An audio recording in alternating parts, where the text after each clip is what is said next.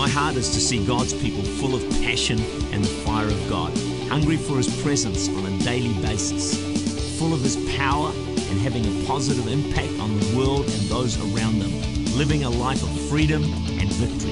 This is Running with Fire. Thanks for joining me today.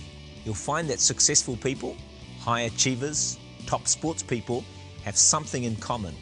They seem to have this inner fuel, passion, and motivation that seems to drive them. These people don't have to be forced and pushed along. They seem to be able to sacrifice, do what it takes to succeed without having external pressure put on them.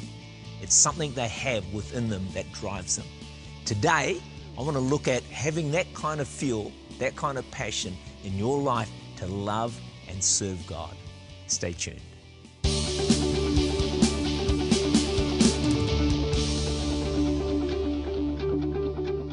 So, how are you at losing things? I'm amazed at how easy it is to lose the remote for the TV. How many places can there be in one room just to lose the remote? But it does happen. What about keys? I lost a set of keys in Whangamata and had to travel hundreds of kilometers to get a replacement set of keys. Some people go out and lose their kids. They go out with four kids, return home with three. Forgot to do a count. What about losing socks? You look for your socks, you can't find them. Your wife says, My wife says, look in the top drawer. I do. I say, They're not there. She comes up, has a look, and says, What are these?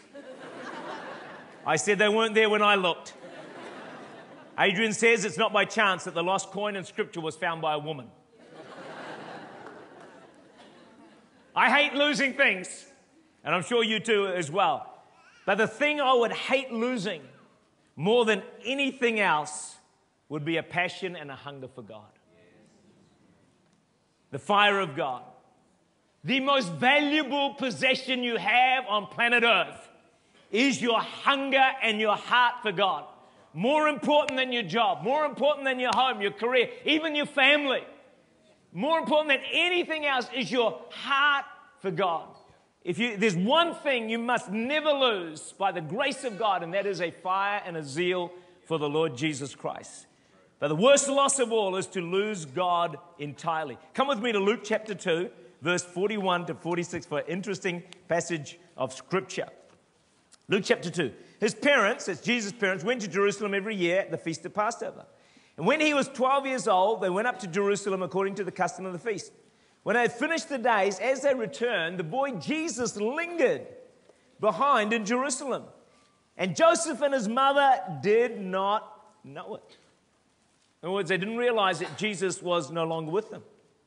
But supposing him to have been in the company, see, they just presumed Jesus was still nearby. He was in their company, that all was well. But it wasn't well. They realized that and sought him among their relatives and acquaintances. And when they did not find him, they returned to Jerusalem seeking him. Imagine that. You're entrusted with looking after the Son of God, the Savior of the world, and you lose him. That was a bad day at the office for Joseph and Mary, I tell you now. But it is possible that to lose Jesus, and it can happen to any one of us. They didn't realize he was no longer near to them. General Booth, that great general of the Salvation Army, did such a mighty work. He's on his deathbed. Some of the disciples gather around him, they're sort of thinking, well, here's the great general Maybe he's got some final words of advice, counsel for us as disciples that we can also have an impact for God. With any deathbed statements that burned in the heart of the great general. And there were. And this is what he said He said, Tend to the fire, for the nature of fire is to go out. Wow. We have to diligently guard God's fire and passion in our hearts. Romans 12 11 in the NIV puts it this way it says, Never be lacking in zeal. Never. But keep your spiritual fire.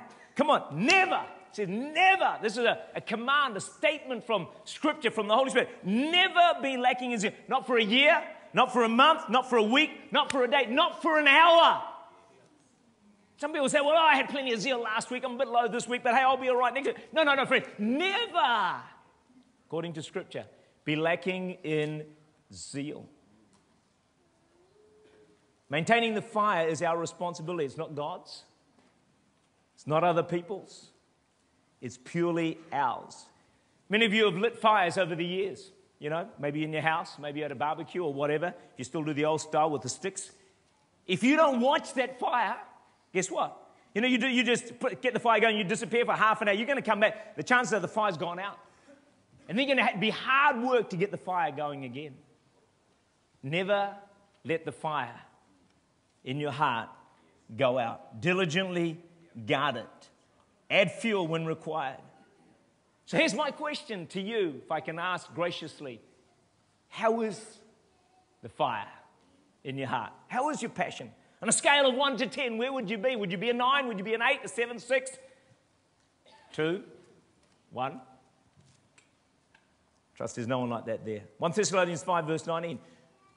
Listen now, it says this Do not put out the Spirit's fire.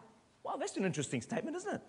It's like God comes to you and says, Hey, hey, no, no, do not. Hey, don't do this. You think, hey, I'll never do that. God is saying, Don't do it. it means that you can do it. It's possible that you yourself somehow put out God's fire and zeal in your heart, or you diminish it. So it's less than it was a year or two, three years ago. There's a possibility and a danger that the fire of God can, in our hearts can go down, even die out. And worst of all, we can be the ones who actually put it out. I want to say this being passionate and on fire for God is not for a select few.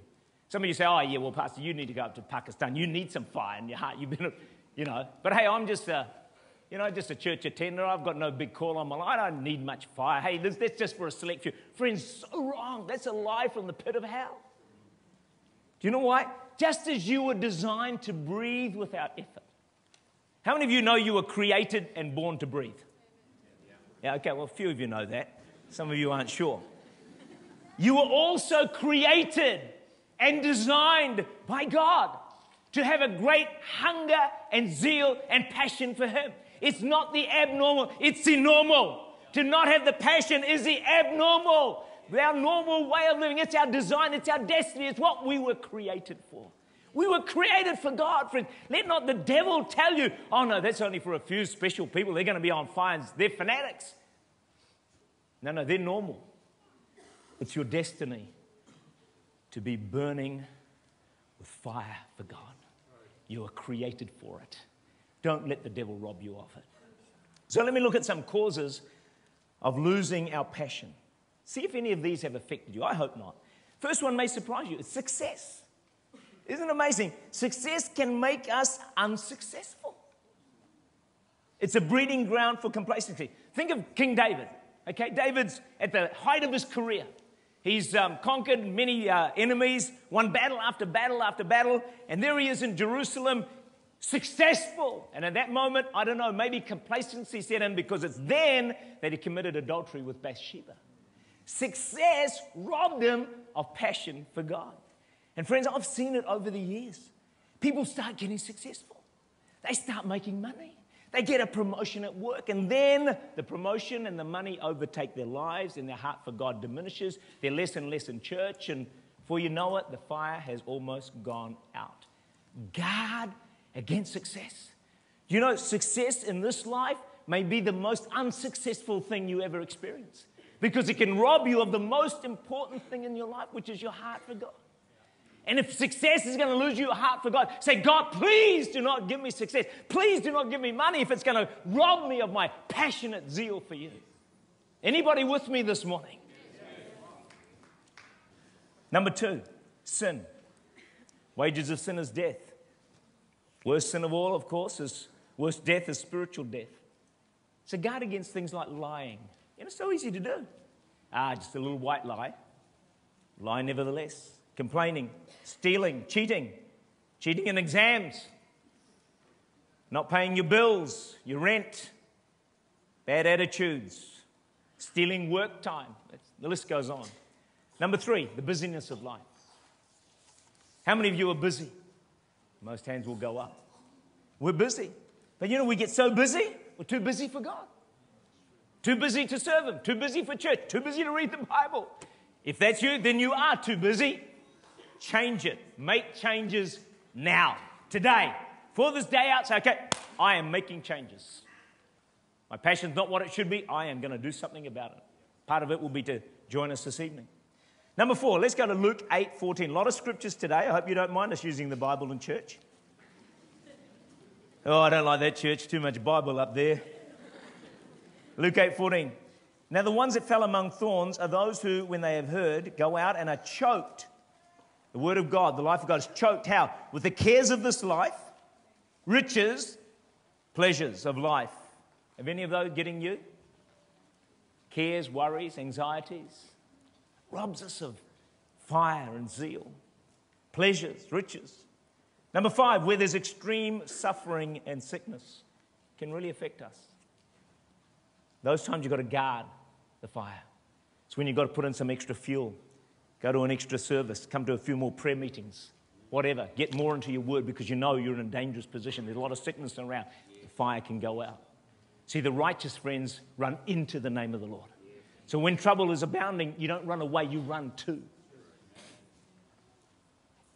Number six, ongoing trouble in the home or private life, marriage, family conflicts, financial pressure, personal struggles can lead to a, a dimming down of our heart for God. Number seven, conflict with other believers. That's a big one.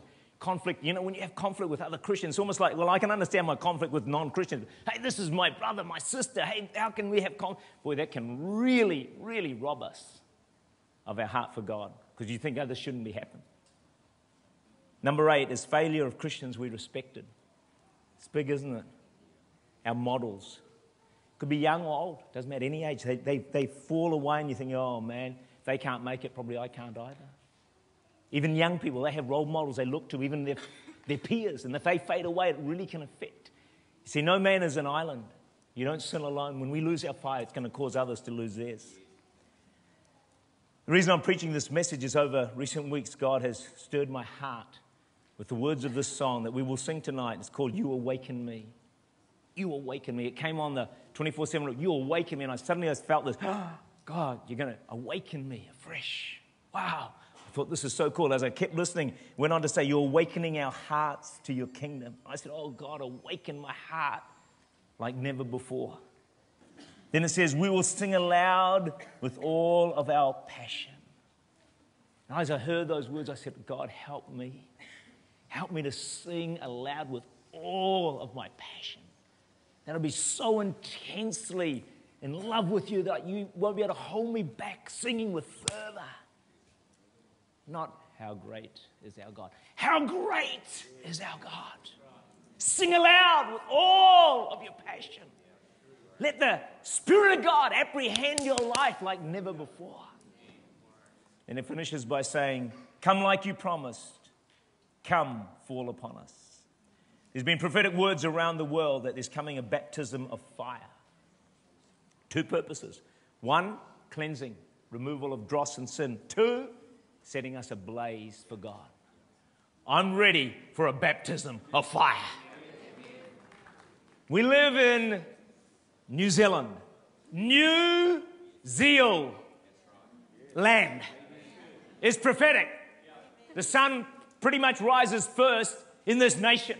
May New Zealand be known across the globe for a church that has a, a new zeal for God, a new passion for Him, a church that's found the zeal of God like never before. It's a prophetic statement. New Zealand. If you're a New Zealander, you should have new zeal. And everyone said? Amen. Okay, let's go to the first way God's going to awaken you and me is repentance, Acts 3:19. A lot of verses today, so I hope you've got a Bible or iPhone or iPad or computer or anything or a tablet.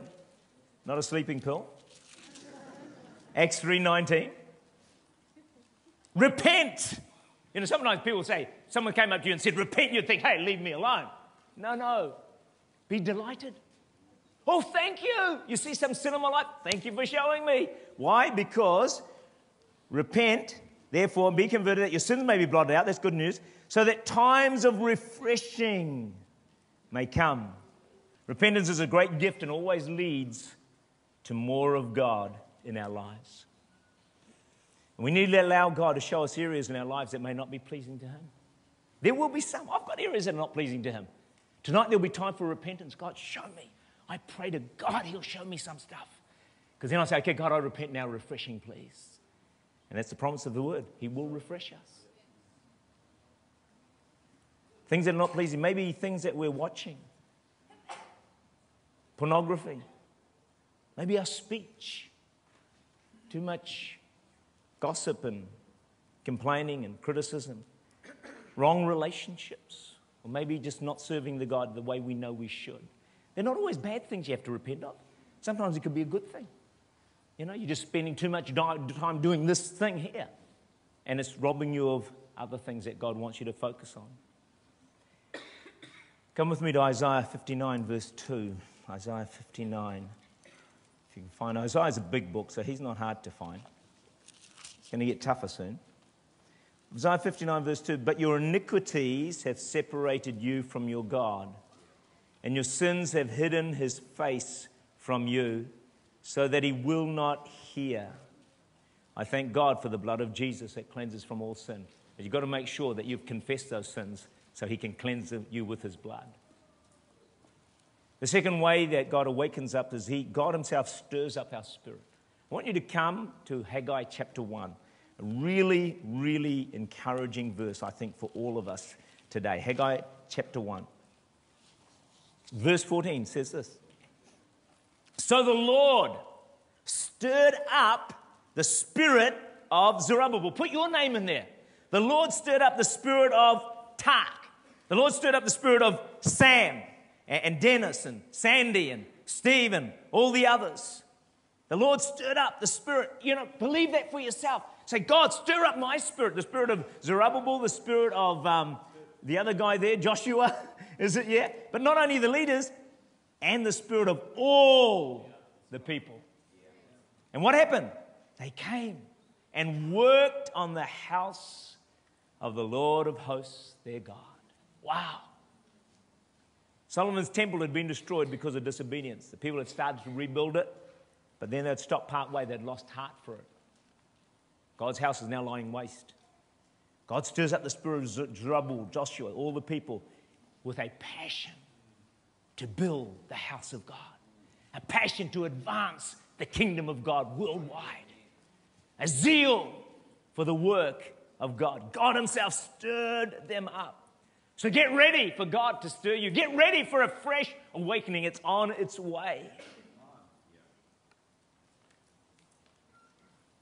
In the margin of my Bible, my study Bible, it says, God wakes up the spirit of Zerubbabel. Hmm. Interesting, isn't it? God wakes up the spirit of Zerubbabel, which means our spirit can be asleep. Zerubbabel, a leader, a leader in the work of God, spirit asleep. Wow, you think, man, that's amazing. How can it be asleep? See, how a spirit can be asleep. There's no real hunger to worship with passion. There's no real hunger for the word, for prayer to serve God, to get into church and be with His people. There's no, no desire to really use our gifts for God. Why is that, friends? Because your spirit's gone to sleep. It's not how it's meant to be. So we can be in church, awake, hopefully, but asleep. Anybody with me? So we've got in this place a whole lot of people who are awake and a whole lot who, well, hopefully not many, but a few that might be asleep. Some people actually fall asleep in the service, may actually be awake in the spirit. So don't be, don't be confused. Don't be confused. See, listen, you're created for God, right? By God, for God, to worship Him and serve. How many of you know that? Yeah, that's what you're created for. That's why you're on the planet. That's why you're alive to love, worship, serve, adore the living God. If you are not experiencing that, your spirit's asleep. The devil's come and given you a sleeping pill. And knocked you out. But don't worry, God is ready to wake you up. When you wake up, life begins. Only then does it make sense, gives you purpose and future. Come with me to Ephesians 5:14.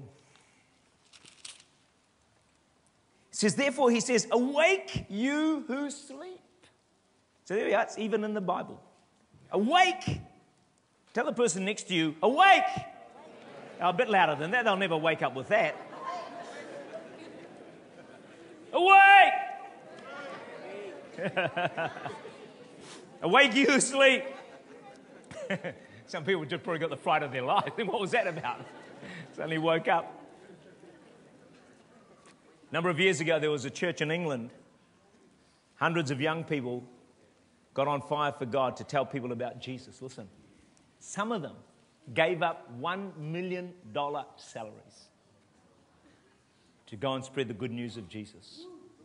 The fire can do that. Preaching probably won't, commanding won't, pressure won't, forcing won't, but the fire, it can do that, friends gives people just such a desire to live for Jesus and to serve. It's a wonderful thing, the fire of God. Napoleon once pointed to a map of China, said, There lies a sleeping giant. If it ever wakes up, it will be unstoppable. Our church and other churches were like sleeping giants. If we ever fully wake up, we will be unstoppable. The world will receive the message of salvation. Revival fires will break out across the planet, and multitudes upon multitudes will come to know Jesus. Ezekiel 37. 37, 1 to 4. The hand of the Lord came upon me, brought me out in the spirit of the Lord, set me down in the midst of the valley, and was full of bones. And he caused me to pass by them all around, and behold, there were very many in the open valley, and indeed they were very dry. Say, very dry. Ah. Some of God's people have become very dry. Then he said to me, Son of man, can these bones live? So I answered, Oh Lord, you know. Again, he said to me, Prophesy to these bones. That's what I'm trying to do this morning, actually. And say to them, O dry bones, hear the word of the Lord. And it's a time for an awakening. It's the word of the Lord. Let's go to verse 10. So I prophesied as he commanded me, and breath came into them, and they lived and stood upon their feet, an exceedingly great army. That's what happens, friends, when God's awakening comes. That's what happens when the fire of God comes, when the prophetic comes. God awakens a great army of God. They asked John Wesley, Johnny, well, probably not Johnny, Mr. Wesley, how do you get such big crowds? He said, I set myself on fire and people come to watch me burn. Why don't you be a John Wesley? Why don't you set yourself on fire so people come and watch you burn? People are intrigued by the fire of God, friends. They're intrigued, they love it. They may not have it, but they love it. They see it in someone, they're drawn to it like magnets. Third way that God awakens us is through prophecy. God stirs up people through his prophets. So let's go to Haggai now, a minor prophet. Haggai 1 3 to 7. Haggai 1 3 to 7. It says this Then the word of the Lord came by Haggai the prophet, saying, Is it time for you yourselves to dwell in your paneled houses and this temple to lie in ruins? Now, therefore, thus says the Lord of hosts, consider your ways. And I'm asking you and me today, consider our ways. See, what had happened here is the people had got sidetracked. And they'd now become more focused on their own lives and building their own homes, which is nothing wrong with. But they were more focused on that while the house of God lay waste. There were needs in God's house. There were needs in the work of God that weren't being attended to because people's attention had got into their own houses. Now, if they were doing both, it probably wouldn't matter. They were giving God second best, He wasn't first in their hearts. We need to consider our ways, that our own homes and lives don't become more important than God's house. Make sure He's getting the best of your time, the best of your energy, the best of your love, the best of your talents. Don't give them to the world, give them to God, first and foremost.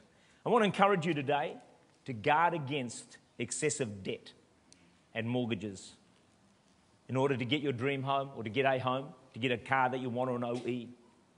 Because we can get into so much debt. Do you know what happens? We fall asleep spiritually. Because we have to spend so much energy and time reducing our debt. And we need to make sure that building God's house, serving Him, is always the top priority. We probably all know of people, you probably know of people, they were just average Christians going along, and suddenly they're transformed. Suddenly they're awake. Suddenly they're wanting to serve and they want to be in church and they're at prayer meetings and all the rest of it. You think, my goodness, what on earth happened to them? Well, guess what happened, friends? God stirred them up. He gave them an awakening and they were aroused and even unknown to themselves. They probably can't even make sense, but suddenly they just, they just want to be all about God. And you think, wow, that is amazing. Friends, that's for everyone. That's not just for one or two people, that's for every person in this auditorium. Don't let the devil lie to you and say, oh, that was for so and so and so and so. No, it's for you. It's for me, it's for all of us. New fire, new awakening, new passion for Jesus. I'm in for more. Anyone with me today?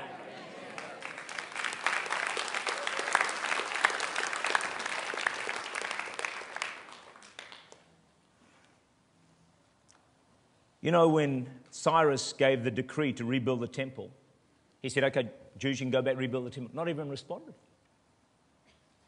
Many preferred to remain in the luxury of Babylon where they were enjoying life. So even when God begins to stir, some people say, no, no, no thanks. I'm content, I'm happy doing my thing. Leave me alone, God, please. Some people honestly think that way.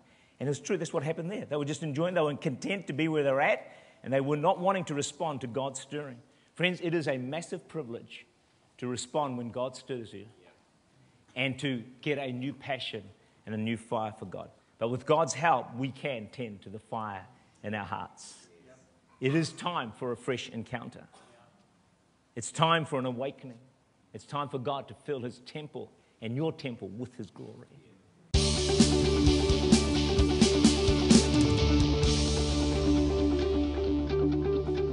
Awakening, fire for God, passion. I guess that's probably one of my life messages that I've been given to share and tell others about. Next week, I'm going to continue with this theme and show you more ways that you can possess and have a greater fire and passion for God in your life. I'm sure you'll find the message very inspiring and helpful. We'd love to join with you in prayer. Why don't you send us your prayer requests via the website on the screen and we'll get our intercessors to pray personally and individually for you, believing for your miracle. Join me again next week. Thanks for watching Running with Fire with Tak Bhana from Church Unlimited. For more great free content, visit runningwithfire.com. You can send us your prayer requests, stream online TV and radio episodes, and view blog articles. You can also connect with Tak Bhana through Twitter for regular updates. Church Unlimited meets at two locations in Auckland, New Zealand. You are welcome to come along for a visit.